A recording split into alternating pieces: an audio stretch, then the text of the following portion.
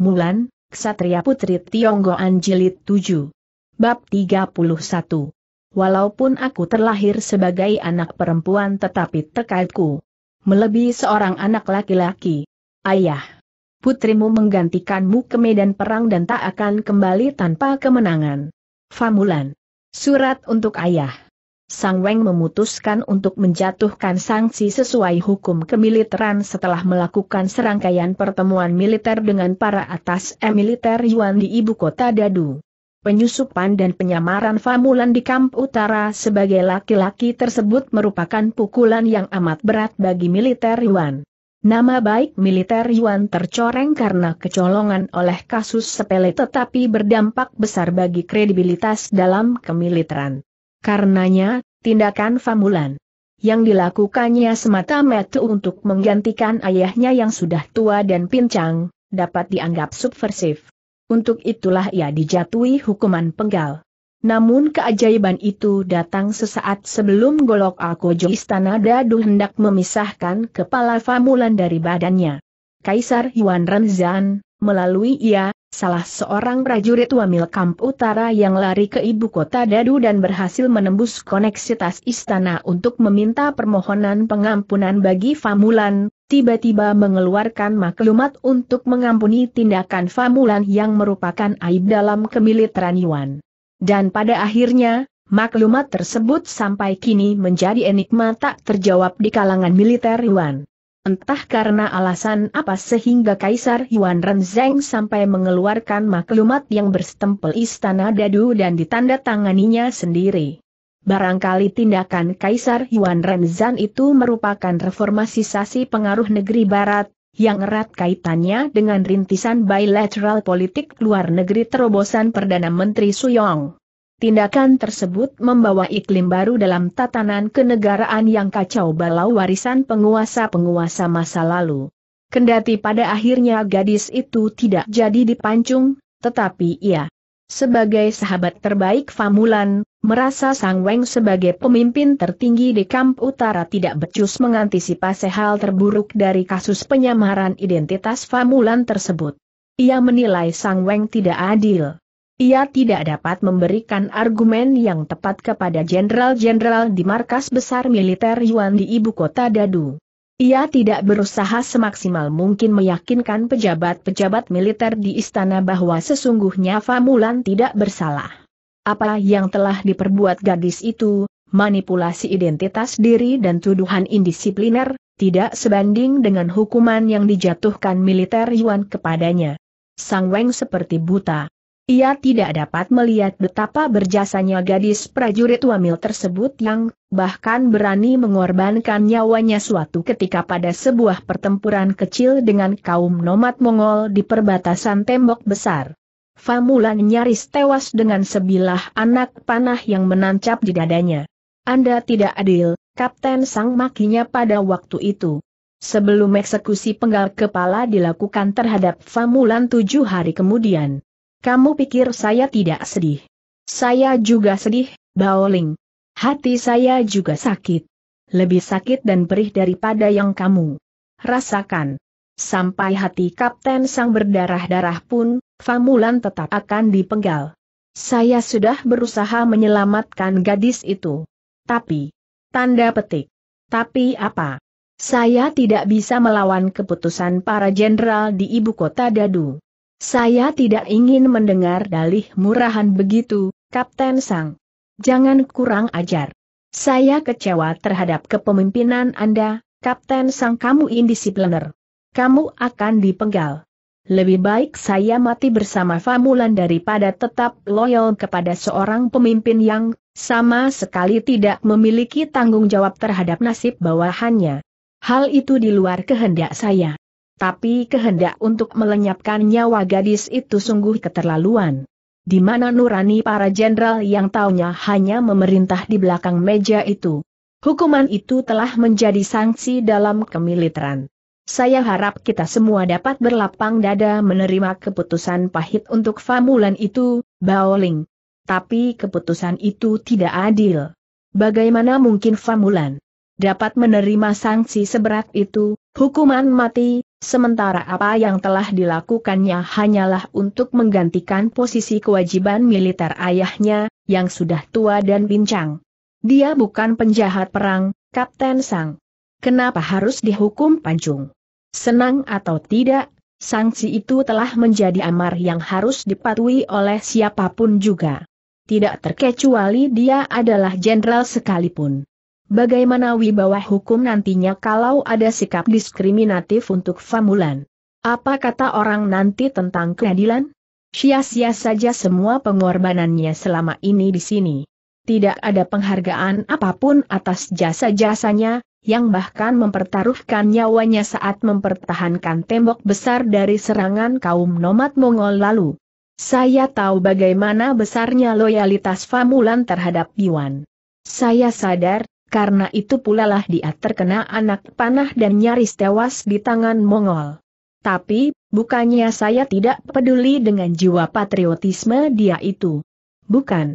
Tapi saya memang tidak memiliki wewenang lagi untuk menggagalkan eksekusi penggal itu, Baoling. Kejam. Tanda petik. Maafkan saya. Saya telah berusaha semampu saya. Tapi, tanda petik. Kalau semua pejabat militer Yuan seolah tidak memiliki nurani. Bagaimana jadinya loyalitas prajurit Yuan kelak? Kasus Famulan adalah salah satu bukti kalau para pejabat militer kita di ibu kota Dadu sudah majal nurani. Tidak ada kepekaan hati mereka lagi untuk melihat sisi-sisi lain dari kebenaran, apa pun bentuknya. Saya menyesal, Baoling. Tapi, tanda petik. Maafkan saya, Kapten Sang. Saya tidak bermaksud menyudutkan Anda di dalam posisi ini. Tapi saya hanya iba kepada Famulan. Dia prajurit yang sangat loyal, bahkan melebihi semua prajurit yang ada di kamp utara ini. Dia gadis yang baik, Kapten Sang. Dia. Tanda petik. Sudahlah, Baoling. Saya turut prihatin atas hukuman yang. Tanda petik. Tetapi, Anda harus bertindak. Sebagai pemimpin kamp utara ini, anda memiliki legitimasi untuk menggagalkan hukuman pancung itu, Kapten Sang. Memaafkan saya, Baoling. Atas militer telah memutuskan untuk tetap menjatuhkan hukuman penggal kepada Famulan tapi mana boleh. Tanda petik. Saya juga sakit hati, Baoling. Tolong, jangan salahkan saya lagi dalam hal ini. Jadi. Tanda petik. Sa saya menyesal. Tanda petik. Huh, kalau sudah begini, membunuh seorang Sang Weng. Sang pun tidak akan dapat menolong Famulan dari kematian saya. Tanda petik. Kit tidak. Tidak. Tidak. Famulan tidak boleh mati. Famulan tidak boleh mati, Kapten Sang. Kala itu ia menangis. Ia meratapi nasib malang Famulan. Namun Sang Weng sama sekali tidak bergeming dengan permohonannya agar berusaha membebaskan Famulan dari hukuman pancung tersebut. Komandan atas seluruh militer Wamil di Tungsao itu hanya menangis. Pemimpin Kamputara itu sama sekali tidak berkutik dengan keputusan getir yang dia manatkan para jenderal kepadanya untuk mengeksekusi Famulan pada hari dan waktu yang telah ditentukan. Juga ketika Cienpo dan Yao berlutut memohon, pemuda itu pun hanya menundukkan kepalanya tidak berdaya, dan tidak tahu harus berbuat apa lagi. Ia benar-benar kecewa terhadap Sang Weng. Maka pada suatu malam ia kembali melarikan diri dari kamp utara menuju ke ibu kota Dadu. Ia harus membebaskan Famulan dari kezaliman pejabat-pejabat militer di ibu kota Dadu ia akan mencoba memohon langsung kepada Kaisar Yuan Renzan agar dapat membebaskan Famulan dari sanksi hukuman panjung. Tetapi upayanya tersebut seolah menggantang asap untuk menghidupkan api pada bara arang yang telah padam. Tidak ada satupun pejabat militer yang sudi menerimanya. Ia hanya dipandang dengan sebelah mata dan dianggap prajurit berkasta rendah. Gengsi militer Yuan ternyata lebih tinggi dari langit ketujuh. Semua petinggi militer dan jenderal memandangnya rendah. Namun ia tetap bersikeras dan berusaha mencari care untuk dapat meluputkan Famulan dari hukuman pancung. Kembalilah ke barak, anak muda sahut Jenderal Gaoming saat ia berhasil masuk ke markas besar militer Yuan secara diam-diam. Ditemuinya jenderal tua itu dan mengungkapkan semua kejadian miris yang menimpa Famulan di Kamputara. Mustahil kamu dapat bertemu dengan Kaisar Yuan Renzan. Istana terlalu keramat untuk kamu masuki hanya untuk menyampaikan berita sesepele itu. Maaf, Jenderal Gau. Ini bukan persoalan sepele. Hidup mati Famulan merupakan tanggung jawab militer Yuan. Anda yang mewakili militer Yuan tidak dapat lepas tangan begitu saja. Dan hanya mengetukkan palu amanat tanpa melihat duduk perkaranya. Saya mohon Anda dapat bertindak bijak menanggapi kasus Famulan tersebut. Anda dapat menimbang kasus itu dengan seksama. Famulan bukan penjahat perang. Dia tidak pantas diganjar hukuman mati. Lancang benar kamu. Maaf, Jenderal Gau. Saya tidak bermaksud apa-apa kecuali meminta atas militer Yuan mengambil keputusan benar apalagi. Bukankah vonis telah dijatuhkan? Vonis itu tidak adil, Jenderal Gau. Berani benar kamu menentang amar yang telah disepakati oleh seluruh atas militer Yuan. Saya tidak berani.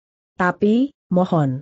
Mohon tinjau kembali keputusan untuk mengeksekusi Famulan, Jenderal Gau, tinjau kembali. Kamu pikir amar yang telah diputuskan itu main-main. Keputusan itu telah bulat, anak muda. Sudahlah. Jangan mengganggu kami yang tengah sibuk di markas besar militer Yuan ini. Keputusan penggal kepala untuk prajurit Wamil Famulan itu sah dan tidak cacat hukum.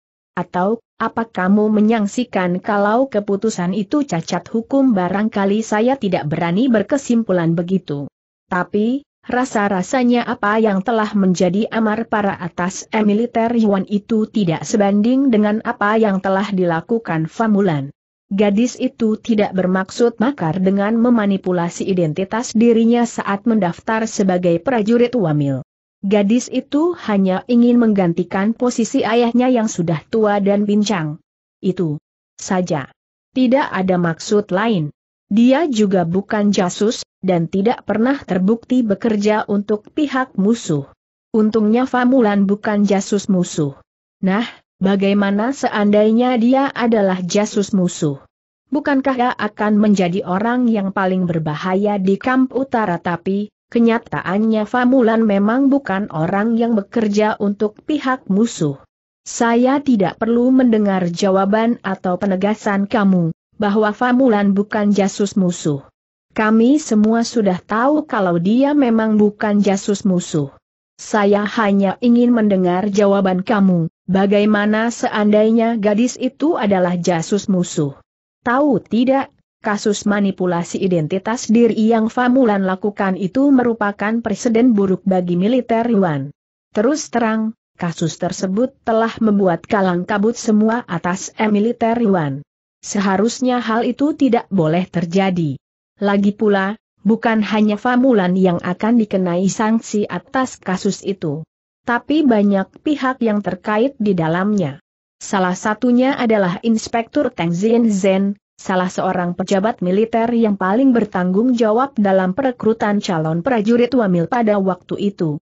Dia pun dapat dijatuhi hukuman mati atas keteledorannya tersebut, Mungkin itu salah satu kesalahan besar yang pernah dilakukan Famulan. Tapi apakah tidak ada pengampunan untuknya? Jenderal Gao? Atas militer telah menimbang dengan matang persoalan manipulasi identitas diri yang terjadi di Kamputara. Memang tidak ada hal yang dapat meringankan hukuman untuk Famulan. Tapi, tanda petik, keluarlah, anak muda. Kamu hanya mengganggu aktivitas kami di sini. Tunggu, Jenderal Gau ada apa lagi? Saya Baoling, putra pertama Baonang. Saya akan melakukan apa saja demi menyelamatkan Famulan dari jazam penggal cukup. Pengawal, tangkap dia. Jenderal Gau. Tanda petik. Kala itu ia ditawan oleh prajurit pengawal Jenderal Gao Ming. Ia dijebloskan ke dalam penjara di markas besar militer Yuan karena dianggap indisipliner menyelinap masuk ke dalam markas besar militer Yuan tanpa izin. Di dalam penjara, ia menemukan ide cemerlang untuk dapat membebaskan Famulan. Koneksitas dengan pihak istana.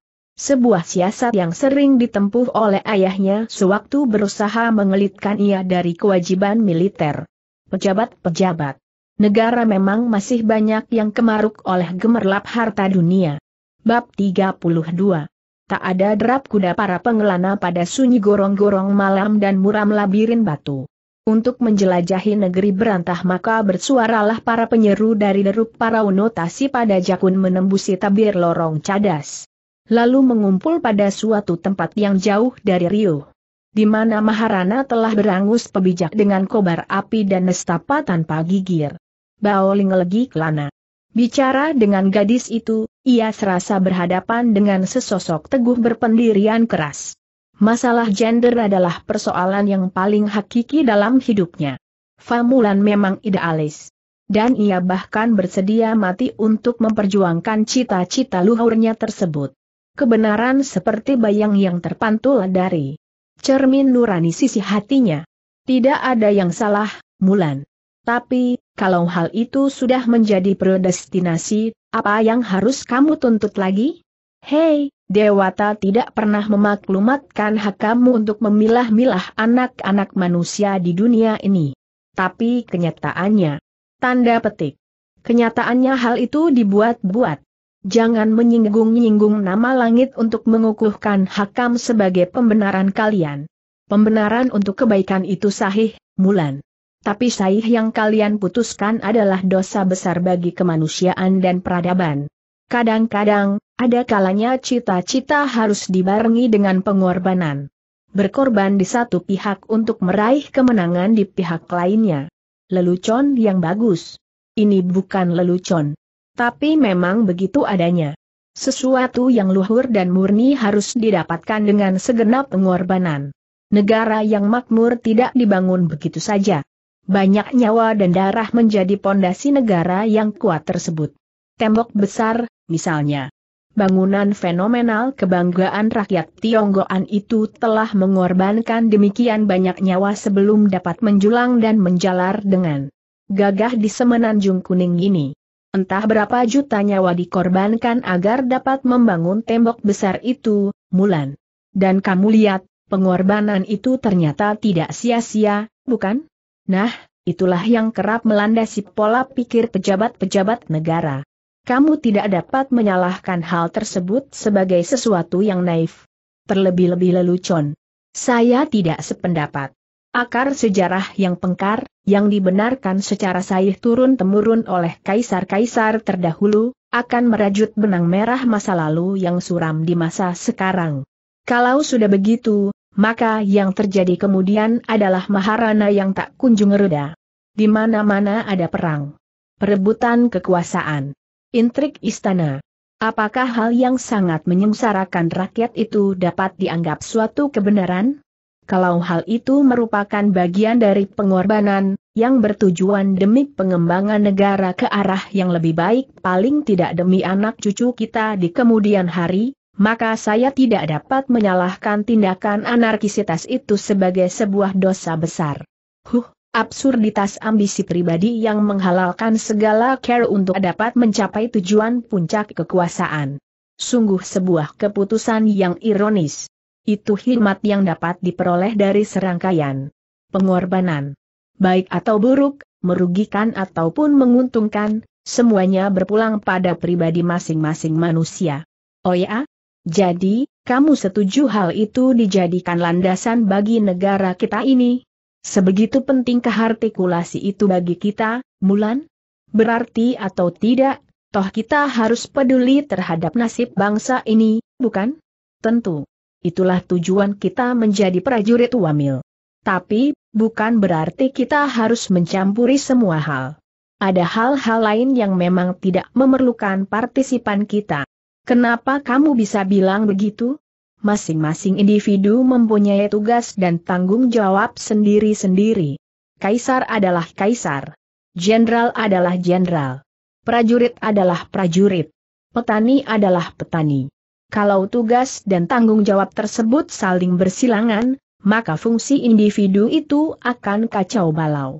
Lalu, pada akhirnya negara akan mengalami instabilitas politik. Negara tidak memiliki tatanan yang kuat karena masing-masing individu rancu dengan tugas dan tanggung jawab mereka masing-masing. Rasanya terlalu picit bila kamu menilai aspirasi dan kepedulian kita sebagai rakyat yang menggugah kepemimpinan seorang kepala negara sebagai sesuatu yang balau. Kenapa? Justru, saya melihat hal tersebut sebagai tiranisasi yang membelenggu aspirasi rakyat. Itu pembodohan buat rakyat. Pemilah-milahan dan pengkotak-kotakan individu ke dalam tugas dan fungsinya masing-masing merupakan politisasi para pengusaha lalim. Rakyat dibiarkan berjalan pada pola yang telah ditentukan. Kaisar tetap kaisar. Jenderal tetap jenderal. Prajurit tetap prajurit. Petani tetap petani. Dan kalau sudah terstigma begitu, seorang kaisar akan memenggal kepala seorang petani yang sesungguhnya berpotensi menjadi kaisar dibandingkan kaisar penguasa yang diuntungkan stigma tersebut. Politik istana itu rumit, Mulan. Bila kita terlampau jauh mencampuri, maka yang terjadi adalah kekisruhan. Semuanya akan membabur. Bukannya solusi pemecahan suatu masalah, ini presidensi yang salah. Tujuan negara, perang misalnya adalah semata-mata demi rakyat. Bukan demi segelintir orang. Bukan hanya untuk kepentingan kalangan istana dan kroninya. Pada kenyataannya, justru yang terjadi adalah sebaliknya. Banyak di antara penguasa negeri menggunakan militer dan perang untuk mempertahankan aset-aset serta kekayaan mereka sendiri. Bahkan untuk merampas harta benda dan tanah orang lain itu hanya presensi batil segelintir seng penguasa Tionggoan. Tapi sesungguhnya keputusan negara adalah stempel saih dan kebenaran, karena kaisar adalah keturunan dewata dan naga dari langit. Mereka adalah totemis. Namun keputusan itu pada akhirnya membabur bila terlampau direcoki oleh absolutisme rakyat yang pluralis. Nah, kalau sudah begitu, maka kekisruhan akan menjadi-jadi rakyat akan jadi tiran. Dan pemerintah adalah boneka yang setiap saat dikendalikan untuk menjalankan misi pluralistis tersebut. Hei, bukan sebaliknya. Amanat rakyat tidaklah seinferior sang kamu, Baoling. Absolutisme dan tirani dapat terjadi karena adanya penyalahgunaan wewenang di dalam roda pemerintahan penyelewengan dari asas-asas hakiki langit bahwa kaisar adalah keturunan dewata dan naga di langit serta analisis totemis itu, justru membawa kaedah tersebut sangat melenceng jauh dari tatanan moralitas dan kebenaran itu sendiri. Tapi, dalam kenyataannya rakyat akan menjadi anarkis dan tiran saat tidak terpenuhinya keinginan-keinginan mereka yang ambigu. Kerusuhan, penjarahan, dan banyak hal merusak lainnya lagi ketika mereka menjelma menjadi serigala yang memangsa kaumnya sendiri. Lalu, siapa yang salah kalau sudah begitu?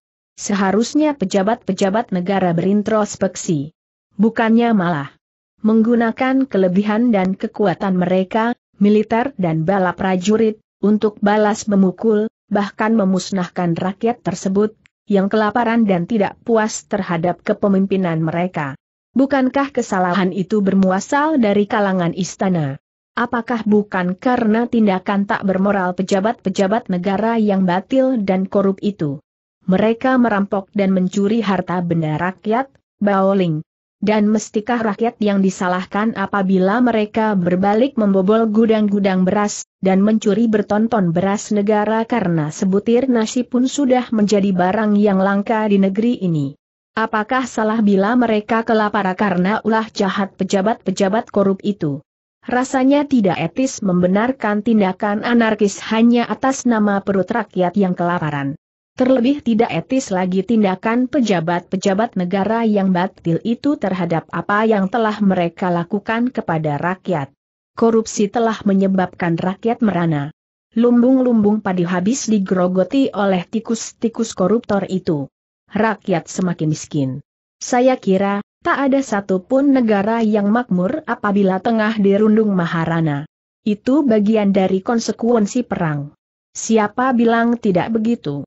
Perang adalah salah satu bentuk tiran dan absolutisme babur dari penguasa-penguasa batil sebuah negara. Lalu yang terjadi adalah kekacauan dan bencana. Rakyat kelaparan. Semuanya terberangus hanya oleh satu kata. Ambisi. Hahaha. Tanda petik. Kenapa tertawa? Saya sama sekali tidak menyangka kalau seorang Famulan bisa seidealis begitu. Idealis atau bukan, yang saya tahu, saya hanya mengungkapkan kenyataan yang saya lihat dengan metu dan kepala saya sendiri. Tapi, kamu cerdas, Mulan. Cerdas? Kamu keliru. Saya tidak cerdas. Seperti yang telah saya katakan tadi, semua hal itu merupakan kejadian real dan kasat yang dapat kita saksikan setiap hari. Jadi apa yang saya ketahui hanyalah mualamat.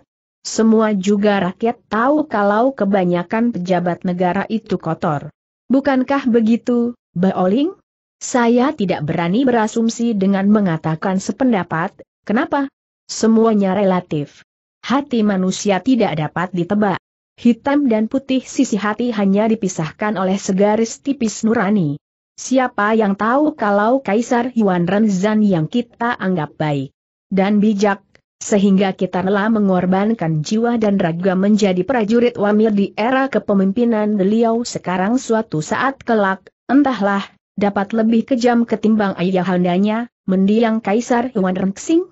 Justru karena itulah diperlukan masukan-masukan dari suara rakyat agar kaedah tetap terjaga, dan Seng Kaisar tidak lari dari norma-norma kebajikan. Nah, itulah yang sulit, Mulan, sulit bagaimana? Kamu tahu, kenapa rakyat Tionggoan diharuskan menjalani kewajiban militer? Tentu saja saya tahu, apa itu? Untuk apa kamu tanyakan hal itu? Sebagai prajurit kita harus memiliki banyak wawasan. Itu sudah pasti. Tapi, sebagai prajurit pun kita mesti memiliki gagasan. Bukan hanya wawasan. Gagasan. Untuk apa? Karena itulah aspirasi. Itulah suara kita. Suara rakyat, kalau begitu, intisari wamil itu untuk apa? Wamil ada karena ada masalah. Masalahnya adalah, karena Tionggoan terus-menerus dirongrong oleh pemberontakan-pemberontakan di daerah perbatasan. Militer Yuan kesulitan menghadapi mereka. Negara diambang bahaya. Itulah sebabnya Kaisar Yuan Renzan segera mengeluarkan maklumat agar rakyat Tionggoan harus mengikuti Wamil. Bukankah begitu, Baoling? Akar masalahnya memang di situ. Tapi, tanda petik. Tapi apa? Tapi tahukah kamu kalau musuh-musuh yang menyerang di daerah perbatasan itu, di luar pemberontakan kaum nomad Mongol, juga merupakan rakyat Tionggoan sendiri maksudmu, pasukan pemberontak Han. Siapa lagi? Bukankah mereka merupakan salah satu suku bangsa Tionggoan juga? Maksudmu, berarti. Tanda petik. Berarti Kaisar Yuan Renzan ditentang oleh rakyatnya sendiri. Jadi kalau direnungi, jangankan menjadikan rakyat sebagai parameter pengendali kekuasaan, tapi mengakui secara aklamasi Seng penguasa itu sebagai satu-satunya pemimpin tertinggi mereka saja sangat jauh dari harapan. Lantas, bagaimana mungkin Kaisar Yuan Renzan dapat menjadi stigma, dan bersatu dengan rakyatnya?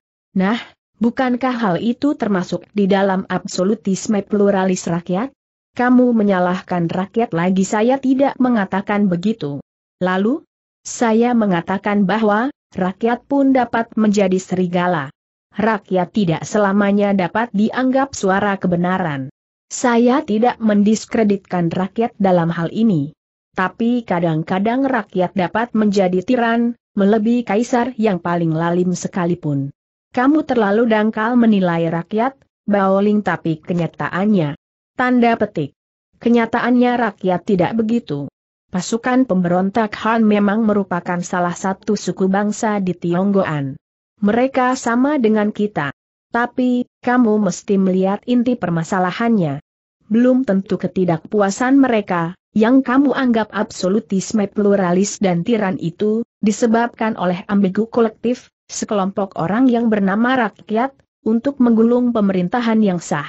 Meskipun saya belum tahu pasal yang sebenarnya, tapi saya kira ada hal-hal lain yang melatar belakangi anarkisme mereka itu. Apa itu, Mulan? Yah, mungkin saja mereka terpengaruh dan termakan oleh seseorang yang dianggap figur figur yang dapat mengubah falsafah pandang mereka terhadap pemerintahan yang sudah ada. Nah, setelah terindoktrinasi, mereka akan menyatukan kata sepakat untuk menjatuhkan pemerintahan yang sah, meskipun mereka sebenarnya tidak tahu jelas sosok Seng penguasa Tionggoan, dan keliru menilai pemimpin mereka yang sekarang. Bisa pula mereka telah termakan isu, pembodohan yang dianggap sebuah kebenaran. Boleh jadi. Tapi apakah semudah itu mengubah pikiran yang sederhana rakyat menjadi sebuah bentuk anarkisme? Apa pun dapat terjadi, Baoling. Janji dan iming-iming adalah majas yang paling berbahaya. Majas tersebut dapat membius kesadaran manusia. Yah, itulah salah satu bentuk kehilafan makhluk hidup yang bernama manusia.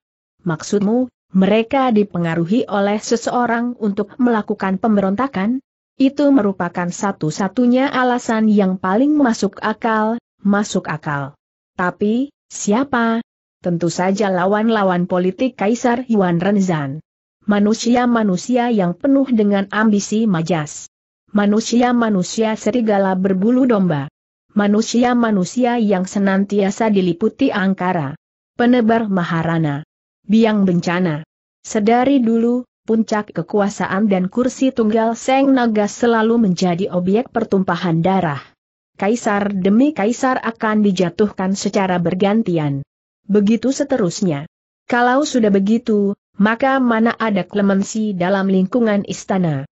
Dan kalau begitu seterusnya, bagaimana rakyat Tionggoan dapat hidup tenang? Ah, saya juga resah, Mulan. Sejarah kelam Tionggoan seolah tak ada habis-habisnya. Dari masa ke masa, perang dan kezaliman sudah menjadi bagian yang tak terpisahkan dari negeri ini. Manusia memang terlalu dangkal menyikapi anugerah yang telah diberikan oleh dewata di langit alam yang berlimpah ruah dengan keanekaragaman isinya telah memenuhi segala kebutuhan manusia. Biji-bijian tumbuh menjadi makanan. Hujan, air, matahari. Semuanya itu adalah karunia maha besar yang tak dapat diucapkan dengan kata-kata. Tapi, coba lihat keegosan manusia. Mereka tidak pernah merasa puas dengan apa yang telah diberikan alam pada mereka. Tetap saja mereka menjazam sesamanya membunuh, merampok, merampas, memusnahkan. Manusia memang bodoh, Mulan. Manusia selalu ingin menguasai seluruh alam ini. Padahal, apalah arti manusia dibandingkan keagungan dewata di langit? Ya, benar. Apalah artinya manusia dibandingkan keagungan dewata di langit? Sebagai makhluk yang paling sempurna dibandingkan makhluk-makhluk hidup lainnya, manusia menjadi pondik. Superioritas menjadikan manusia lupa bahwa mereka sebenarnya tidak memiliki nilai dan arti apa-apa dibandingkan Sang Pencipta. Kesombongan telah meruntuhkan peradaban manusia. Maharana dan genosida telah menghancurkan kehidupan manusia itu sendiri. Manusia telah menggali makamu untuk dirinya sendiri, jauh sebelum ajal menjemput. Kadang-kadang saya sendiri pun merasa terlibat dalam dosa besar manusia itu, Mulan? Maksudmu? Tanda petik. Yah, apa bedanya kita dengan manusia-manusia pembatil itu? Kita ini prajurit. Kita membunuh. Saling memusnahkan, mempertahankan sesuatu untuk kebenaran bukan tindakan yang salah, Baoling. Hal itu merupakan radiah, sifat alami manusia yang telah menjadi bagian dari predestinasi kala diturunkan dari langit. Dalam sebuah pertempuran, kemenangan itu tidak mesti diraih dengan jalan membunuh atau saling memusnahkan. Diplomasi merupakan salah satu cara yang paling efektif tanpa harus menumpahkan darah sesama. Menaklukkan satu musuh dengan kesadaran kontemplasi dan budi pekerti adalah kemenangan yang paling gilang gemilang jauh lebih berharga daripada menaklukkan satu juta laskar prajurit dengan pedang dan tombak. Tapi dalam kenyataannya, Maharana selalu memakan banyak korban. Tidak terkecuali rakyat kecil yang sama sekali tidak terlibat dalam peperangan. Tidak memilah-milah apakah mereka itu prajurit atau bukan. Anak kecil, perempuan, dan orang tua. Semuanya pasti menjadi korban kebiadaban perang, untuk itulah rakyat membutuhkan pemimpin yang baik. Tionggoan memerlukan kaisar yang dapat bertindak adil dan bijaksana. Kaisar yang senantiasa berpedoman pada hati nurani, Baoling. Sebab, kaisar yang memiliki naluri kinasih melihat Matra Maharana itu dari sisi dan sudut pandang berbeda. Tujuan perang bukan untuk saling memusnahkan. Tapi semata adalah hal radiah untuk mempertahankan negara, dan pencapaian sebuah cita-cita luhur bangsa. Apabila perang sudah mengarah ke genosida dan penghancuran, maka hal tersebut tidak lain disebabkan oleh bahang ambisi pribadi Seng pemimpin. Kalau sudah begitu maka perang tidak lagi murni sebagai radiah. Perang tidak lagi merupakan aksi untuk mencapai cita-cita luhur bangsa. Perang akan menjadi neraka paling bengis untuk manusia. Ya, memang benar. Kalau sudah begitu pula, maka para pemimpin atau kaisar suatu negara akan bertingkah lalim. Bertindak sewenang-wenang dengan yurisdikasi pribadi mereka. Pemerintahan menjadi absolut. Dan pada akhirnya militer dan bala prajurit menjadi bidak-bidak penegas kekuasaan mereka. Sayang rakyat kita masih tercerai-berai. Kekuatan menjadi lemah karena kurangnya persatuan. Dan sampai sekarang masyarakat Tionggoan enggan bersatu. Suku-suku bangsa saling menonjolkan superioritas mereka. Saling membanggakan kelebihan dan keberadaan mereka. Suku-suku bangsa saling mengkasta-kastakan sehingga di antara mereka sendiri tercipta jurang pemisah yang sangat lebar. Itulah sebabnya Tionggoan tidak pernah lepas dari absolutisme kaisar-kaisar pelalim. Karena mereka tahu rakyat dapat dengan mudah diadu domba. Rakyat mudah dipecah belah. Dan kalau rakyat sudah terburai, maka seng penguasa batil tersebut akan dengan mudah memainkan kemudi pemerintahan seenak hati mereka. Rakyat menjadi miniatur, objek permainan seng penguasa lalim tersebut. Bukankah begitu, Baoling? Wah, kamu benar-benar prajurit sejati, Mulan. Famulan tersenyum sembari mengibaskan tangannya. Lalu ia meninju pelan dada Baoling. Pemuda bertubuh jangkung itu tertawa. Kamu keliru menilai saya, Baoling. Saya bukan prajurit sejati. Saya hanya prajurit wami biasa, ujar Famulan setelah meredakan tawanya. Tapi buktinya. Tanda petik. Buktinya apa, heh. Buktinya Famulan. Tanda petik. Sudah, sudah. Jangan menyanjung-nyanjung lagi tidak ada kelebihan apa-apa pada diri seorang manusia biasa bernama Famulan. Buktinya, saya belum dapat membendung Maharana di Tionggoan ini. Saya belum berandil apa-apa, sama sekali, tapi... Tanda petik. Tapi apalagi, heh. Tapi kamu memang hebat-hebat apanya? Ya, hebat. Hebat itu hanya sebentuk pengakuan. Begitu pula dengan kata sejati tadi sama sekali tak memiliki makna tanpa aplikasi. Atensi itu dapat berbentuk apa saja. Baik dukungan moral atau moral, juga sumbangsih tenaga maupun pikiran. Semua orang bisa mendapat pengakuan hebat atau sejati. Tapi, tidak semua orang dapat benar-benar dikatakan hebat dan sejati, apabila tidak memiliki kapabilitas dan kesungguhan untuk berkorban tanpa pamrih. Berkorban tanpa pamrih, Itulah bentuk atensi yang dapat dikategorikan sebagai hebat yang sejati, dan sejati yang sejati, wah, kamu benar-benar luar biasa, Mulan. Nah, kamu mulai lagi. Tanda petik. Buktinya. Tanda petik. Proyeksi gendermu itu bikin sakit hati, Baoling. Maaf. Saya tidak menyangka semua kalimat saya telah melukai hati kamu, Mulan. Bukan maksud saya begitu. Tapi, kenapa kamu tidak pernah mau menerima realita hidup bahwa, kaum perempuan memang selalu berada di posisi kedua setelah laki-laki? Tentu saja. Saya sudah terluka sejak lama, bahkan sejak saya baru dilahirkan. Semua itu lantaran posesif gender. Dan yang kamu maksud sudah terluka sejak baru dilahirkan pasti berhubungan dengan ibumu yang bernama Fali itu. Betul, bukan? Siapa lagi yang saya maksud? Entah, sudah berapa ribu kali hal menyakitkan hati itu saya ceritakan kepada orang yang mau mendengarkan keluhan saya. Hahaha. itulah sepenggal lera dari seorang famulan, yang mesti dituangkan dalam sebentuk kisah miris. Jangan meledek. Sakit hati dapat terbawa sampai mati. Jadi, jangan sepelekan ungkapan hati saya tersebut. Seandainya kamu terlahir sebagai seorang famulan, tentulah kamu dapat merasakan getir sebagaimana yang saya rasakan sampai sekarang. Hahaha. Maaf, maaf. Namun seandainya saya memang terlahir sebagai seorang famulan, maka saya tidak pernah akan sanggup menanggung derita-derita tersebut. Saya tidak setegar. Seorang famulan yang sesungguhnya. Famulan yang sesungguhnya itu adalah, kamu. Sudahlah. Sesungguhnya saya tidak ingin mengingat-ingat masa kecil saya yang menyakitkan itu lagi. Hektometer, saya masih ingat, dan tidak akan pernah lupa keluh kesahmu itu, Mulan. Yah, terima kasih. Kadang-kadang, dengan menceritakan tiranisasi ibu terhadap saya, saya merasa lebih lapang.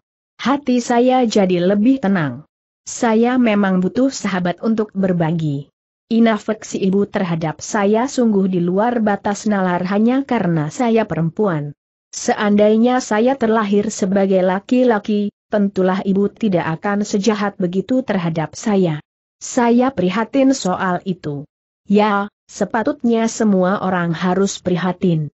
Inharmonisasi antara manusia berjenis kelamin laki-laki dan perempuan, yang terentang karena gender telah menyebabkan penderitaan salah satu makhluk hidup ciptaan Sang Khalik itu sendiri, Baoling. Padahal, sejak di dalam kandungan sampai terlahir, manusia tidak pernah dapat menentukan akan dapat terlahir sebagai apa. Mereka tidak pernah dapat memilih, apakah akan terlahir sebagai laki-laki ataupun perempuan. Tapi kenapa pengkotak-kotakan dan pemilah-milahan itu justru lahir dari manusia sendiri? Bukankah manusia semuanya sama? Huh, andai saja tidak ada generisiasi, pasti ibu akan menjadi ibu yang sesungguhnya untuk saya. Pasti ibu akan menjadi ibu sejati bagi saya putri tunggalnya. Pasti ibu tidak pernah mengutuk saya, dan mengatakan saya sebagai anak jelmaan iblis yang memangsa janin laki-laki yang dikandungnya selama sembilan bulan. Pasti ibu tidak pernah memaki-maki saya dengan kalimat menyakitkan kala saya mendapat menstruasi pertama, Mulan, kenapa kamu bukan laki-laki sehingga tidak merepotkan ibu titik. Seharusnya ibu dengan bijak menjelaskan fenomena yang terjadi bila seorang anak perempuan mulai menginjak usia akil balik. Bukannya malah menambah kepanikan saya dengan memarahi saya habis-habisan, yang pada waktu itu nyaris pingsan karena menganggap vagina saya mengucurkan darah secara tiba-tiba. Saya sakit hati. Sungguh sakit hati. Saya paham penderitaan kamu itu, Mulan. Sudahlah, Baoling, Jangan bicara soal gender lagi. Jangan memuji saya lagi. Jangan pula menganggap saya hebat atau sejati lagi. Hebat dan sejati itu memerlukan pembuktian. Bagaimana mungkin saya dapat kamu katakan hebat atau sejati kalau saya sendiri belum pernah mengaplikasikan sesuatu yang berguna bagi bangsa ini? Buktinya. Tanda petik. Bukti apa lagi? Buktinya kamu sudah berkorban, menyusup dan menyamar menjadi laki-laki menggantikan posisi ayah kamu sebagai prajurit wamil. Bukankah semua hal itu kamu lakukan demi keluarga dan negara? Apa bedanya saya dengan kalian semua? Toh kita masuk menjadi prajurit wamil memang mewakili keluarga masing-masing dan untuk membela negara, bukan? Iya, memang benar. Tapi, apa yang kamu lakukan itu berbeda dengan kami semua. Karena saya perempuan. Salah satu alasannya memang begitu, nah, kamu mulai lagi. Tanda petik. Mulai apa? Saya tidak suka kamu jadi orang yang primordialis begitu siapa yang primordialis? Tidak peduli kamu atau siapa. Yang pasti primordialis itu tidak ada bedanya dengan makhluk batil yang hadir sebagai pengganggu dalam peradaban manusia. Maaf. Tanda petik. Untuk apa minta maaf? Kalau begitu, kamu malah mempertegas primordialistis itu sebagai wujud kasat mata dalam dirimu. Tapi, saya sama sekali tidak bermaksud menyinggung-nyinggung soal perbedaan dan gender. Beda maksud saya adalah, seorang Famulan memang prajurit tangguh yang memiliki kapabilitas juang melebihi kami semua, kaum laki-laki, jangan mengelak.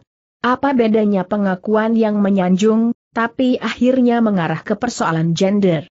Hahaha. Lalu, saya harus ngomong apa untuk mengungkapkan kelebihan dan kehebatan kamu itu, Mulan? Ingat, saya bukan orang hebat. Dan saya tidak butuh pengakuan.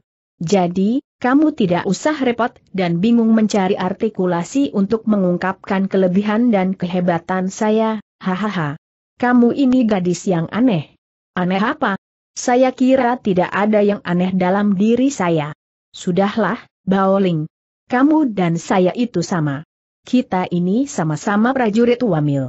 Saat ini, lepaskanlah persoalan gender, apakah saya perempuan atau bukan. Yang pasti, sekarang saya adalah prajurit wamil di kamp utara ini. Tidak peduli perempuan atau laki-laki. Tapi, kamu tetap seorang perempuan di mata saya, Jangan mempermainkan saya lagi, Baoling, siapa yang mempermainkan kamu? Kamu. Tanda petik. Maaf. Tanda petik. Sudahlah. Tapi, saya hanya jujur menyuarakan suara hati saya. Simpati yang berlebihan pada sesuatu yang dianggap istimewa merupakan senjata bumerang, yang suatu waktu dapat memakan tuannya sendiri. Jadi, hati-hatilah dalam berkesimpulan kalau tidak ingin terluka suatu saat. Tapi saya tidak salah menilai kamu, bukan? Apa yang kamu ketahui tentang saya? Jangan terlalu percaya diri, Baoling. Apa yang kamu ketahui tentang seorang Famulan tidaklah lebih sebatas kulit. Tidak ada seorang pun di dunia ini yang dapat membaca isi hati orang lain. Kamu selalu mengelak. Tidak senang dipuji tidak senang disanjung, rendah hati dan tidak sombong. Bukankah hal itu sudah menggambarkan kesempurnaan kamu, Mulan tidak ada manusia yang sempurna. Pengecualian untuk kamu, Famulan bukan dewata. Famulan memang bukan dewata. Tapi, Famulan adalah dewata yang menipis ke dalam tubuh manusia. Kamu pikir Famulan adalah dewata yang maha sempurna apa? Tapi paling tidak, tidak ada yang setara dengan seorang famulan yang tanda petik. Cukup. Hentikan proyeksi gendermu, hahaha. Tanda petik. Uh, kamu sama saja piciknya dengan para atas militer Yuan. Tidak ada bedanya dengan pandangan mereka terhadap perempuan. Hanya aplikasinya saja yang berbeda. Hei, saya tidak sejahat mereka. Jadi, jangan samakan saya dengan petinggi-petinggi militer yang kerjanya hanya memerintah di belakang meja tersebut. Apa bedanya kamu dengan mereka? Saya ini tidak menentang lintas gender. Jangankan menjadi prajurit, menjadi jenderal pun kalau kamu, perempuan, mampu kenapa tidak? Kalau perempuan lebih mampu dibandingkan laki-laki, bahkan menjadi kaisar sekalipun bagi saya tidak ada masalah bukannya malah dijatuhi hukuman penggal seperti yang pernah mereka ingin lakukan terhadap kamu. Jangan mengungkit masa lalu. Mengubah tatanan yang sudah meleluri tidak semudah membalik telapak tangan. Butuh waktu yang sangat panjang untuk itu. Mungkin 100 tahun, 200 tahun, atau 1000 tahun lamanya lagi. Ah, entahlah. Justru itulah Tionggoan memerlukan orang-orang yang seperti kamu, Mulan. Kenapa harus saya? Karena orang seperti kamu merupakan sosok perombak kultur yang telah mendarah daging di Tionggoan ini. Saya hanya menyuarakan nurani. Saya bukan sosok sentrum yang dapat mengubah wajah lama Tionggoan menjadi baru. Untuk mewujudkan hal itu diperlukan tanggung jawab moral dari banyak pihak. Bukan sosok individu orang per orang. Selama ini saya belum melihat ada sosok yang tepat mengubah wajah lama Tionggoan itu selain kamu. Saya bukan pahlawan, Baoling. Famulan hanyalah seorang prajurit wamil biasa. Prajurit wamil yang ingin melihat pembaruan di negerinya sendiri. Negeri tanah kelahirannya. Cita-cita luhur kamu itu saja sudah lebih dari cukup mewakili sosok kepahlawanan di negeri ini. Panglima-panglima dan jenderal-jenderal di ibu kota Dadu saja mungkin tidak pernah berpikir searif kamu. Huh, mana ada yang memiliki rasa patriotisme tanpa batas seperti kamu. Mereka semuanya hanya tahu memerintah tanpa aplikasi. Membangun negeri ideal selayaknya menjadi tanggung jawab moral setiap orang. Bukan hanya tugas para panglima dan jenderal atau petinggi-petinggi militer saja. Jadi, apa yang telah menjadi cita-cita saya tersebut sama sekali tidak dapat dikatakan istimewa. Terlebih-lebih kalau saya dianggap pahlawan karena itu. Apa yang saya lakukan tidak lebih dari pangabekti terhadap negara. Selayaknya, pahlawan sejati tidak pernah mau menggembor-gemborkan dirinya sebagai pahlawan, meskipun pada kenyataannya dedikasi yang telah diaplikasikannya selama ini telah menegaskan kalau mereka memang merupakan pahlawan. Tentu saja. Sebab, pahlawan itu tidak dinilai semata-mata dari sejumlah kontak fisik dan pertempuran-pertempuran heroik yang dilakukannya sebagai aksi bela negara. Tapi, ada hal-hal lain di luar dari itu. Orang tua kita masing-masing juga merupakan pahlawan bagi keluarga. Petani merupakan pahlawan agraria. Nahkoda merupakan pahlawan maritim dan navigasi galiung di lautan. Dan masih banyak lagi pahlawan-pahlawan tanpa nama dan tanpa tanda jasa. Jadi, pahlawan sejati itu merupakan sebentuk pengabdian. Pengabdian tanpa pamrih yang dilakukan oleh sebagian orang dalam jabatan dan tugas yang berbeda-beda. Kalau begitu, kamu adalah manusia sempurna. Manusia yang seolah-olah terlahir semata-mata untuk muamalah. Sekali lagi saya tegaskan. Saya bukan dewata, dewata yang penuh dengan kinasih. Saya hanyalah manusia biasa yang tidak luput dari celah dan ketidaksempurnaan. Manusia tidak ada yang sempurna. Tapi, bukankah moralitas yang selama ini telah kamu tunjukkan? Merupakan bentuk pengukuhan kesempurnaan itu siapa saja dapat mengaplikasikan kebajikan. Itu gaung. Moralitas yang selayaknya diwujudkan semua orang sehingga dunia ini dapat menjadi damai. Saya Famulan, tidak pernah menganggap diri sendiri sebagai saka guru yang menggetok tularkan moralitas. Tapi, tanda petik, moralitas merupakan gaun nurani yang bersih kebaikan akan membawa dan membuahkan kebaikan. Demikian pula sebaliknya dengan kejahatan. Saya hanya belajar dari fenomena alam. Apa yang kita tanam, maka itulah yang akan kita tuai kelak. Jadi, hal itu bukan kesempurnaan. Hanya langit dan dewatalah yang dapat menyandang predikat sempurna itu, Baoling. Bukannya Famulan yang hanya seorang prajurit biasa, tapi tanda petik tidak ada seorang manusia pun yang lebih tinggi dan sempurna dibandingkan manusia lainnya. Strata dan jabatan kekuasaan, kasta dan bentuk-bentuk penggolongan, juga kilau gemerlap permata dan harta yang dimiliki seseorang, bukanlah alat untuk mempertegas nilai lebih manusia di atas manusia lainnya. Justru, harkat dan martabat manusia itu dapat diperoleh berkat aplikasi kebajikan dan moralitas yang telah mereka tunjukkan selama ini. Ia mengangguk-angguk waktu itu. Rasanya tidak ada lagi kesangsian untuk mengatakan kalau gadis itu memang predestinasi yang diturunkan dari langit untuk ranah babur Tionggoan.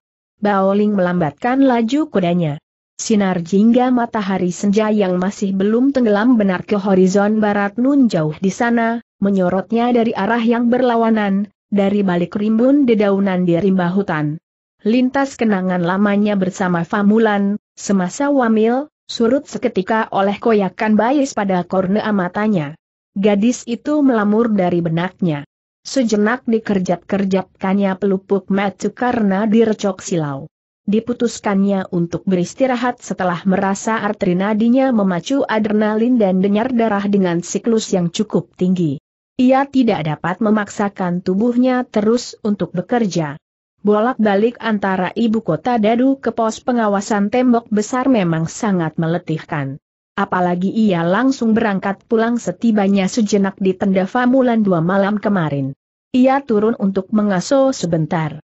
Dikaitkannya tali kekang kudanya pada sebatang pohon mahoni di hutan HWA. Setelah itu ia pun duduk di tanah, dan menyandarkan punggungnya yang penat di sebatang pohon. Empat malam yang lalu di hutan inilah, ia diserang oleh Zung Paoling. Namun hari ini ia tidak menemui hambatan lagi. tak satu pun terlihat jasus yang hendak menghabisi nyawanya. Namun demikian, ia tidak mengendurkan konsentrasinya. Ia tetap waspada terhadap serangan musuh sewaktu-waktu. Setelah merasa lebih segar nanti, ia akan kembali melanjutkan perjalanannya ke Istana Dadu menyampaikan peristiwa miris pencobaan pembunuhan dirinya kepada Jenderal Gaoming. Bab 33 Adakah impian seindah magnolia yang datang dari palung hati dan mekar serupa tunas kebenaran? Lalu tumbuh menyeribu di tanah kerontang ini. Oh, magnolia yang malang. Taman yang bergulma sungguh tak lagi merona sehingga benih indah kebajikan enggan tumbuh serupa tangkai dan kelopakmu yang rapuh di ranah masif. Baoling legi Magnolia. Ada suara derap kuda yang menderas di gendang telinganya. Baoling menegakkan kepala, meluruskan punggungnya yang sedari tadi menyandar pada sebatang mahoni, mawas mengawasi ke arah suara riuh itu dengan sepasang mata sipitnya yang semakin menyipit. Istirahatnya terganggu. Padahal, belum lagi lama ia mengasuh. Sendi-sendinya yang ngilu pun belum lagi normal dari kebas. Sehabis menikmati bekal makanannya, ia pun rileks menyemedi. Satu bakpao berisi daging babi cincang yang dihabiskannya sesaat tadi membuai lambung di perutnya, dan mengundang kantuk yang sesekali membelai-belai kelopak matanya. Ia berdiri. Melangkah tiga tindak dalam gerak gingkang sebelum melompat ke atas sebatang dahan pohon dengan tubuh seringan bulbul. Disembunyikannya dirinya di balik dedaunan sembari mengawasi si penunggang kuda yang melaju lambat di bawahnya. Tak lama berselang, di belakang kuda pertama tadi tampak menyusul seekor kuda berwarna kelabu. Si penunggang kuda pertama tampak menelengkan kepala, dan menghentikan laju kudanya saat ia melihat kuda baoling yang menyampir di sebatang pohon. Si penunggang kuda itu melompat turun. Diikuti oleh si penunggang kuda kedua. Mereka berdua mendekati kuda tanpa pemilik itu dengan langkah hati-hati. Baoling menyongsong si penunggang kuda tersebut setelah tidak berfirasat buruk. Apalagi ia tidak melihat ada senjata yang dibawa oleh kedua si penunggang kuda itu. Ia pun melompat turun dan berdiri di hadapan kedua si penunggang kuda tersebut dengan seburai dedaunan kering yang merontok dari pokoknya. Saya Baoling. Maaf, anda-anda ini siapa tanya Baoling santun saat kakinya mendarat di tanah. Sesaat kedua si penunggang kuda itu tampak terkejut kala Baoling tiba-tiba sudah berdiri di hadapan mereka setelah melesat menukik turun dari atas seperti walet. Oh, kami ini hanya kafilah yang kebetulan lewat, jawab salah satu di antara mereka yang bertubuh agak jangkung dalam nada alto. Baoling terkesiap. Ternyata kedua si penunggang kuda itu adalah perempuan. Tetapi dari kejauhan tadi mereka tampak seperti laki-laki. Mungkin mereka menyamarkan diri dengan berpakaian laki-laki supaya tidak diperkosa atau dirampok di tengah perjalanan, pikir Baoling. Sebenarnya kami ingin ke ibu kota Dadu. Tapi tiba-tiba saja kami tersesat, dan entah sudah berada di hutan ini, tambah si penunggang kuda kedua yang tampak lebih mungil dan halus. Oh, begitu, Baoling mengangguk-anggukan kepala. Ini hutan HWA. Kurang lebih 11 mil, bila berjalan lurus dari arah barat ke selatan, Anda-Anda sudah dapat menemukan ibu kota Dadu. Oye asi penunggang pertama bertubuh tinggi itu seperti terlonjak kegirangan. Jadi, kita sudah hampir tiba di ibu kota Dadu, Putri. Tanda petik. Si penunggang kuda kedua tampak kelimpungan, dan mengerjap-mengerjapkan matanya seolah mengaba. Ada sesuatu yang mereka sembunyikan. Dan menutupi hal itu dari orang lain. Terlebih-lebih orang asing yang baru mereka temui di dalam perjalanan.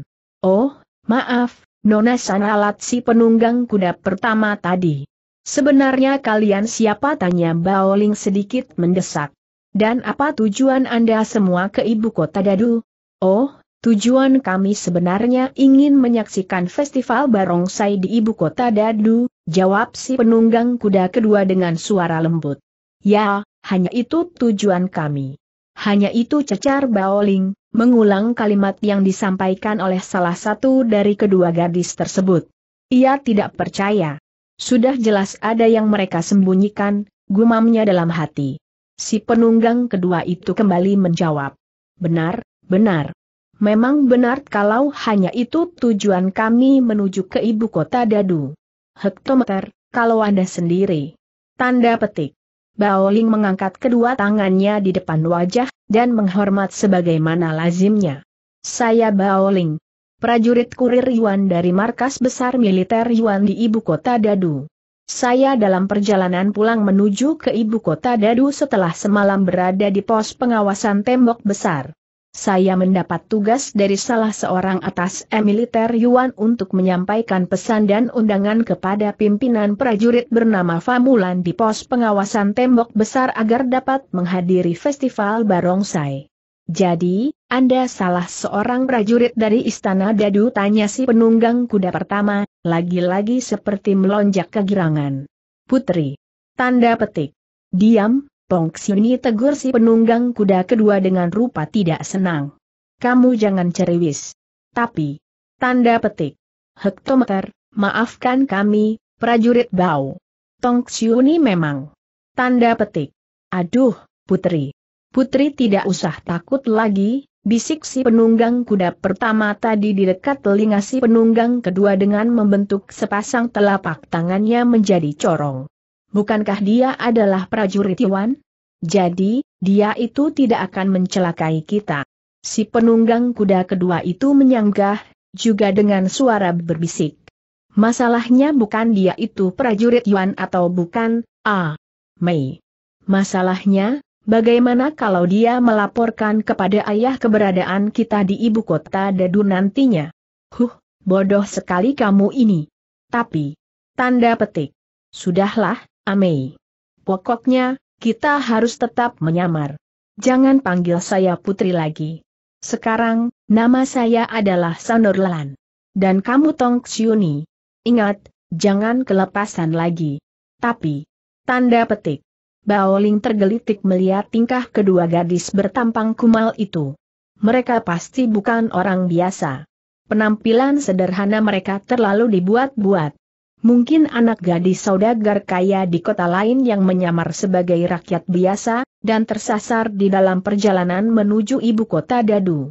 Kalau tidak salah menilai, Anda-Anda pastilah bukan rakyat biasa, tebak Baoling akhirnya. Oh, Bukan dosa si penunggang kuda kedua yang ternyata adalah Putri Yuan Renxie, yang kabur dari istana Kiangsu tanpa seizin ayahnya, Pangeran Yuan Renking. Benar kami cuma kafilah yang tersesat. Iya. Betul, betul. Kami ini hanya rakyat biasa, tambah si penunggang kuda pertama yang sebenarnya adalah Fang Mei, salah satu dayang setia Putri Yuan Renxie. Kami hanya ingin menghadiri festival barongsai. Tidak ada yang salah, bukan tentu saja tidak, jawab Baoling sembari menahan tawanya yang hendak menyeruak melihat tingkah gugup kedua gadis itu. Dan hal itu menambah keyakinannya kalau mereka itu memang bukan orang biasa. Tapi yang salah adalah cara berpakaian kalian yang kelihatan aneh. Aneh bagaimana tuntut Putri Yuan Renxie dengan rupa tidak senang. Memangnya, Tanda petik. Baoling terbahak. Rakyat biasa tidak mungkin memakai tusuk konde bermute berlian di rambutnya. Putri Yuan Renxie tergeragap. Ia memang lupa melepas sesuatu di atas kepalanya setelah menyamar dari prajurit Yuan menjadi rakyat jelata. Hah, jadi. Tanda petik. Jadi pasti kalian ini bukan orang biasa. Kalian pasti sedang menyamar sebagai rakyat biasa. Hektometer, mungkin kalian dari kalangan kedaton. Tapi, kami memang betul rakyat biasa, sanggah Fang Mei, berusaha meyakinkan Baoling. Soal tusuk konde bermute berlian, apa tidak boleh rakyat biasa memiliki barang berharga seperti itu? Ya, boleh-boleh saja. Tapi tusuk konde itu bukan barang berharga biasa. Bukan barang berharga yang dapat dengan mudah diperoleh dan dibeli di sembarang tempat. Tusuk konde itu berbatang giok dan bermata berlian. Pada batang tusuk konde itu terdapat vinyet berukir naga, liong. Kalau bukan kerabat istana, Anda pasti salah satu anak gadis dari puak bangsawan. Betul, bukan? Putri Yuan Renxie masih berusaha membantah. Bukan. Tanda petik. Baoling mengibaskan tangannya. Sudahlah. Tidak usah berbohong lagi. Hidup mati saya untuk istana. Jadi, saya paham betul ciri-ciri gadis puak bangsawan meskipun mereka menyamar dengan balutan pakaian kesat goni sekalipun agar menggambarkan kepapaan khas rakyat-rakyat kecil pada umumnya. Kalian terlalu sekar untuk menjadi jelata, ujarnya ringan dengan suara bercampur tawa. Ya, tidak apa-apa kalau kalian masih merahasiakan identitas diri kalian yang sesungguhnya. Mungkin kalian memiliki alasan untuk itu. Lagi pula, toh saya tidak dapat memaksa. Oh ya, karena kita sejurusan, bagaimana kalau sekalian saya antar kalian sampai ke ibu kota Dadu? Putri Yuan Renxie menundukkan kepala, menyembunyikan kegugupannya tidak berani bersitatap matu dengan Baoling. Diam-diam diakuinya kalau prajurit Yuan itu merupakan prajurit yang cerdas. Matanya jeli menangkap perhiasan rambut yang digunakannya. Padahal, jarak pemuda itu dengannya tidak dapat dikatakan dekat. Namun ia dapat melihat detil benda sekecil itu di atas kepalanya, dan mengemukakan argumen yang tepat mengenai tusuk kondinya yang merupakan salah satu harta benda istana. Fang Mei yang sedari tadi hanya terdiam kini angkat suara. Boleh, boleh. Nah, Kebetulan Anda juga akan ke ibu kota Dadu, bukan? Berarti kita sejurusan. Bukankah begitu, prajurit Baoya? Betul. Kalau Anda Anda tidak keberatan, saya bersedia menjadi petunjuk jalan bagi kalian, tawar Baoling ramah. Lagi pula, berjalan tanpa pengawalan di dalam hutan ini sangat riskan dari bahaya. Apalagi, kalian adalah perempuan. Putri Yuan Renxie membeliakan matanya, melotot sebagai tanda protes atas saran Fang Mei yang secara tidak langsung menerima tawaran Baoling. Fang Mei tergeragap ditatap nanar begitu. Ditundukkannya kepala sebagai reaksi gugupnya. Tapi, kami dapat berangkat sendiri. Terima kasih atas tawaran Anda, prajurit Bao, tolak Putri Yuan Renxie, masih bersikeras menyembunyikan identitas dirinya. Kami dapat jaga diri baik-baik. Betul, prajurit Bau. Lagi pula, jarak ke ibu kota Dadu tidak jauh lagi, sahut Fang Mei menambahi, jelas untuk menutupi rasa bersalahnya terhadap Putri Yuan Renxie. Ling belum menyerah. Tapi, tanda petik, kami adalah kafilah yang tersesat. Jangan terlalu mengkhawatirkan kami, dusta Putri Yuan Renxie agar ia dapat terbebas dari uluran tulus Baoling yang ingin mengawalnya ke ibu kota Dadu. Kami sudah mengelana mengelilingi banyak negeri. Pedoman kami hanya gemintang di langit. Tersesat sedikit tidak apa. Kami sudah terbiasa. Kalian bukan kafilah, sanggah Baoling. Untuk apa kalian menutupi identitas diri kalian? Bukannya saya mendesak agar kalian berterus terang, tapi saya hanya prihatin kalau terjadi apa-apa dengan keselamatan kalian selama dalam perjalanan. Maaf, prajurit Bao, ujar Putri Yuan Renxie dengan wajah kecut, mulai tidak senang didesak-desak begitu.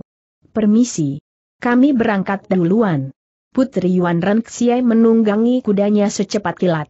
Fang Mei tak mengikuti, menunggangi kudanya setelah putri tunggal Pangeran Yuan Renking, buah hati perkawinannya dengan istri pertamanya, itu sudah berada di atas punggung kuda. Nona teriak Baoling, berusaha menahan langkah kedua gadis itu dengan serentetan teriakan meyakinkan. Jangan tak kabur. Di dalam hutan ini banyak jebakan musuh yang belum aktif. Empat hari yang lalu, saya nyaris terbunuh oleh jebakan-jebakan musuh. Juga serangan misterius musuh di tengah hutan HWA ini. Peringatan itu tak ditanggapi oleh Putri Yuan Renxie. Ia tetap bersikeras berangkat tanpa pengawalan Baoling. Dipacunya langkah kuda tanpa memedulikan nasihat salah satu prajurit Yuan yang masih berdiri dengan wajah penasaran itu. Putri, tegur Fang Mei lembut setelah kuda mereka telah melangkah, membelah keheningan di dalam hutan HWA. Apa tidak sebaiknya kita dikawal oleh prajurit Bao saja? Tidak boleh. Kalau dia ikut menyertai kita, maka rahasia kita akan terbongkar, tolak Putri Yuan Renxie, menarik keras tali kekang untuk mempercepat langkah kudanya. Lagi pula, belum tentu dia itu prajurit Yuan. Kalau musuh bagaimana? Huh, saya tidak ingin jadi objek perampokan. Salah-salah nanti diperkosa oleh orang yang tidak kita kenal itu. Fang Mei menyejajari langkah kuda putri Yuan Ren Xie. Tapi, dia kelihatannya orang baik-baik, putri. Kamu jangan sok yakin. Jangan menebak sifat orang hanya melihat dari penampilan luarnya saja. Tapi, apa yang dikatakan prajurit Bao tadi mungkin ada benarnya, putri.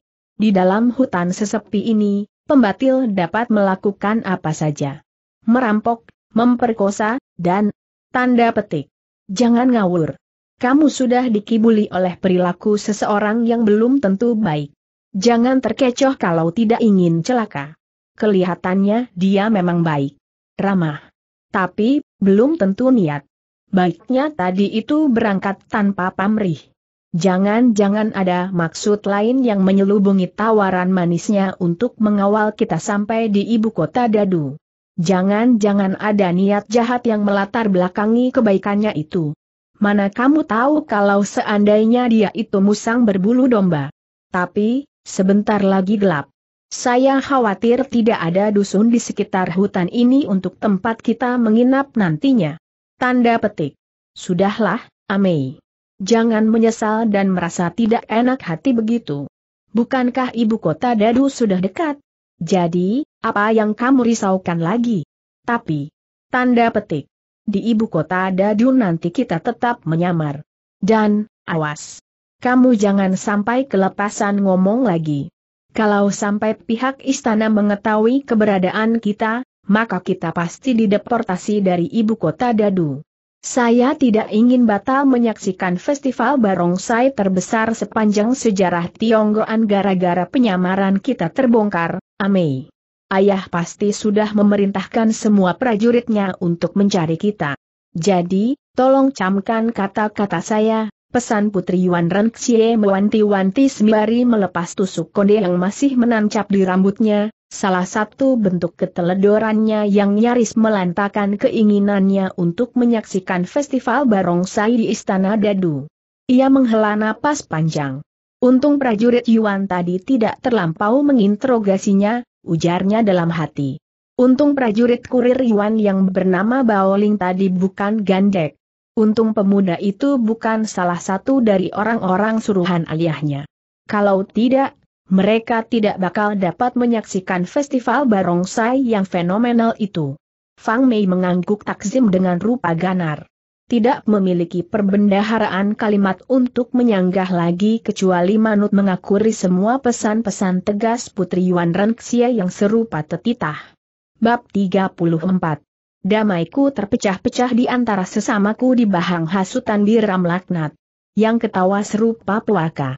Oh, Mestikah gulma merangsar bong sehingga setiap pucuk indah dari rimbun akan merontok serupa tunas yang mati. Datanglah duitku. Ajaklah aku keluar dari taman anominitas ini terbang meninggalkan segala murka. Dan absolutisme di tanah babur ini. Baoling. Duitku nan agung. Kedua gadis itu tampak menyusuri alur setapak di dalam hutan HWA. Cahaya rembulan yang patah-patah, serta basir gemintang menjadi lampu dan penerang jalan mereka.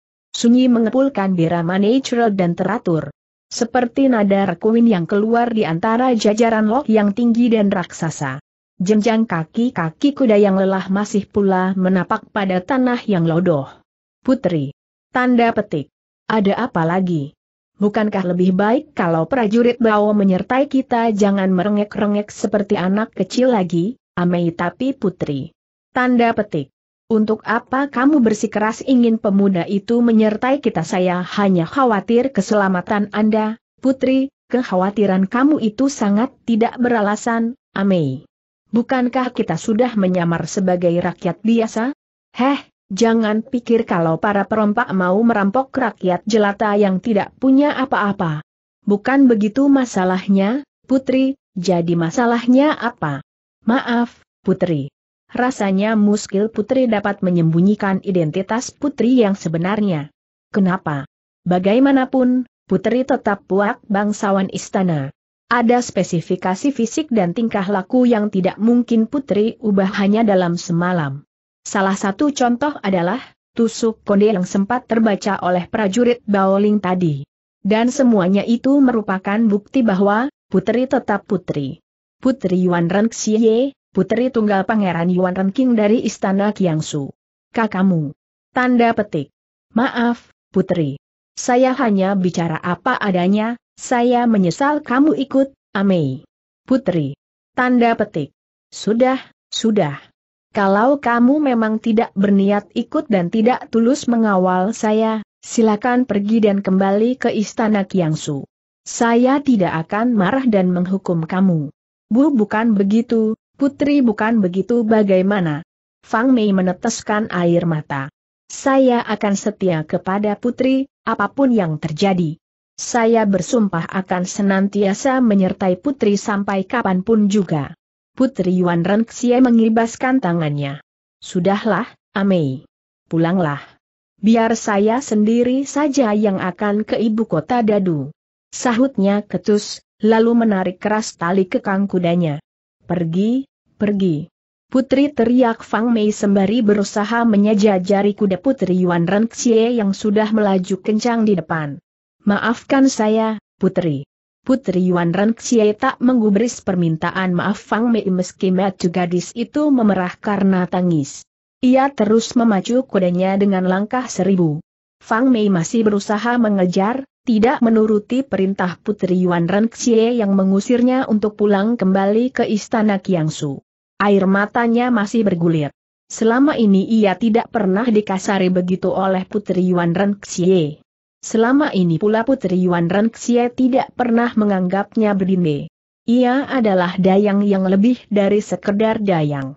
Ia adalah pengasuh sebaya, sahabat, sekaligus saudara bagi Putri Yuan Renxie.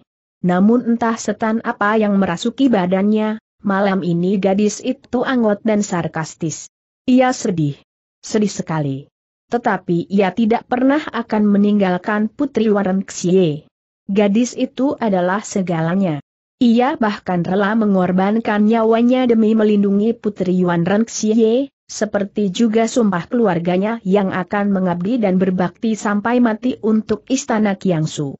Keluarga Fang berhutang jasa pada Istana Kiangsu. Dan mereka merasa tidak akan pernah sanggup membayar hutang jasa itu sampai kapan pun juga. Karenanya, Mengorbankan nyawa untuk Mahardika dan totemis istana merupakan syahid. Ada suara yang menggelegar dari langit.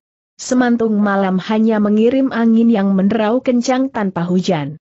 Udara yang melandai mendesaukan dedaunan dan mendesahkan rerumputan di bahu jalan setapak yang mereka lalui. Lalu tiap sebentar angin menerbangkan rambut Seng Putri yang mayang tetapi seperti tidak peduli dengan gelegar heban dari langit serupa aum gergasi, gadis totem itu tetap melarikan kudanya dengan kecepatan penuh. Fang Mei menggigit bibir.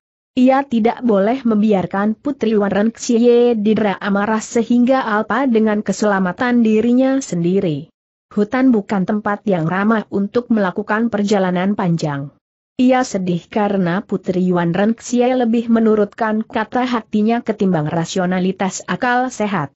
Dan Sabtu semantung kembali menggelegar bersamaan dengan sebuah lesatan benda pipih berpangkal bulu angsa yang menyunda dada kuda Putri Yuan Renxie.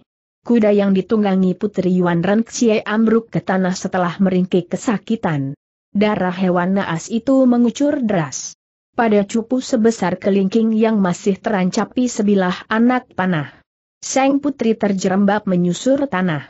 Kepalanya terbentur tanah yang lambuk. Awas, putri. Fang Mei membeliak. Ia menjerit kalut. Putri Yuan Ren Xie diambang bahaya. Sontak ia melompat seperti terbang dari punggung kudanya. Menyambut tubuh Seng Putri yang terpelanting dan mengaduh kesakitan di tanah. Ditamenginya tubuh Putri Yuan Renxie dengan badannya sendiri dari lesatan-lesatan anak panah. Sebilah anak panah melesat di atas kepalanya sebelum menancap pada sebatang mahoni. Terdengar sebuah dentingan garing di sela-sela derap langkah kuda yang menderas. Fang Mei mengangkat kepalanya setelah merunduk memeluk Putri Yuan Renxie yang limbung. Dilihatnya pemuda yang ditemuinya di tengah hutan HWA di tengah mengayun-ayunkan tombaknya, menghalau lesatan-lesatan anak panah yang mengarah ke tubuh mereka. Baoling serunya dalam hati. Ia menghela napas panjang. Dewata masih menolong Putri Yuan Renxie dan dirinya. Nona, cepat bersembunyi di balik pepohonan teriak Baoling kepada kedua gadis yang merunduk, lalu melata saat ia menjatuhkan pandangannya di tanah.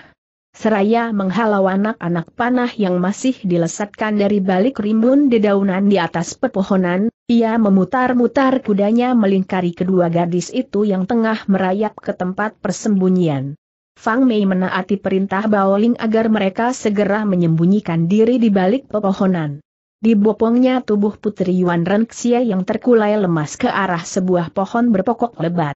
Memeluk erat-erat tubuh Seng Putri. Tetap menamengi tubuh gadis itu dengan badannya meskipun ia sudah berada di balik batang pohon. Salah satu tembakan anak panah parewa itu memang tidak mengenai tubuh Putri Yuan Renxie. Namun anak panah itu membunuh kudanya. Mengempaskan Seng Putri dari punggung kuda yang terjerembab mati. Kepala Seng Putri terbentur keras di tanah. Ia belum sadar dari pingsan. Fang Mei kembali meneteskan air mata. Badannya menggigil ketakutan. Ia prihatin atas kondisi Putri Yuan Renxie yang belum siuman. Ia bertanggung jawab penuh atas keselamatan Seng Putri. Putri, Putri desis Fang Mei dengan suara tangis. Sadar, Putri. Sadar. Sementara itu Bao Ling masih berusaha menghalau anak-anak. Panah yang dilesatkan dari dalam kegelapan hutan HWA. Ia terus memutar-mutarkan tombaknya ke segala arah seperti propeller tanpa beranjak dari punggung kudanya. Melihat banyaknya anak panah yang dilesatkan, ia dapat menerka kalau para parewa yang menyerangnya itu kali ini berjumlah banyak orang.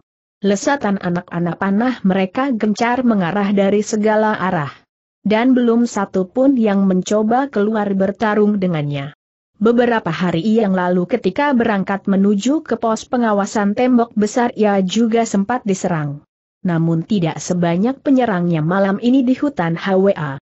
Pemimpin Parewa yang menyerangnya beberapa hari lalu di tempat yang sama adalah Zung Paoling, salah seorang prajurit intelijen kepercayaan Jenderal Gao Ming. Tetapi pemuda handal itu tewas di tangannya, dan menutup misteri dalang di balik usaha pembunuhan dirinya. Ia yakin parewa yang menyerangnya malam ini pastilah para suro delang yang sama. Mereka pasti kembali berusaha membunuhnya. Dan ketika kedua gadis yang ditemuinya di tengah hutan HWA tadi itu melewati jalan setapak ini, mereka diserang oleh para suro yang hendak mencabut nyawanya. Malam yang temaram dan balam telah melamurkan mata mereka, menyerang membabi buta tanpa mengetahui detil sosok musuh yang hendak disasarnya. Masih menangkis anak-anak panah yang sudah mulai berkurang melesat ke arahnya, Baoling tiba-tiba melompat dari atas punggung kudanya. Ia berguling seperti terenggiling ketika tubuhnya mendarat di tanah, dan menghilang di balik gegulma. Sesaat ia seolah-olah menghilang.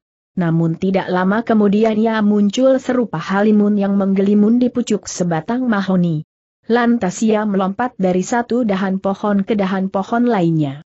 Di atas ketinggian pepohonan itulah matanya yang nanar berusaha menelusuri dan mencari tempat musuh-musuhnya bersembunyi. Tetapi malak malam mengaburkan segalanya sehingga sejauh mata memandang hanya tampak kerimbun daun yang membentuk bayang musuh majasi.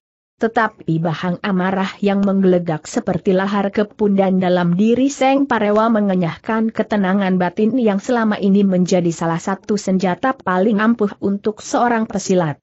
Ia keluar dari tempat persembunyiannya di balik sebatang mahoni, tidak jauh dari tempat kedua gadis itu meringkuk sembunyi. Enam orang pemuda berseragam senada tampak mengitari area sekitar kudanya berada. Sesekali melangkah gingkang dan menebas-nebas rerumpun gulma dengan golok mereka. Bau. Ling masih mengintip di atas dahan pohon. Membiarkan para parewa itu menyabet-nyabet angin, sesekali mematahkan ranting pepohonan. Cepat keluar kamu bangsat. Salah seorang pemuda berpakaian lain dibandingkan seragam keenam pemuda yang keluar lebih dahulu tadi terdengar berteriak cupar. Ia baru keluar dari tempat persembunyiannya dengan air muka cua, tidak sabar ingin memusnahkan musuhnya. Ayo, pengecut. Kenapa, hah? Takut. Baoling tidak menggubris kalimat-kalimat sarkastis yang diteriakkan oleh pemuda yang bertaucang itu. Ia tidak terpengaruh kalimat-kalimatnya yang memancing emosi. Ia masih menunggu situasi yang tepat untuk balas menyerang dari balik kegelapan. Ia pun masih membiarkan para parewa itu menghabiskan tenaga mereka sendiri dengan meletupkan amarah, menebas-nebas gegulma dan dedaunan di dalam hutan HWA.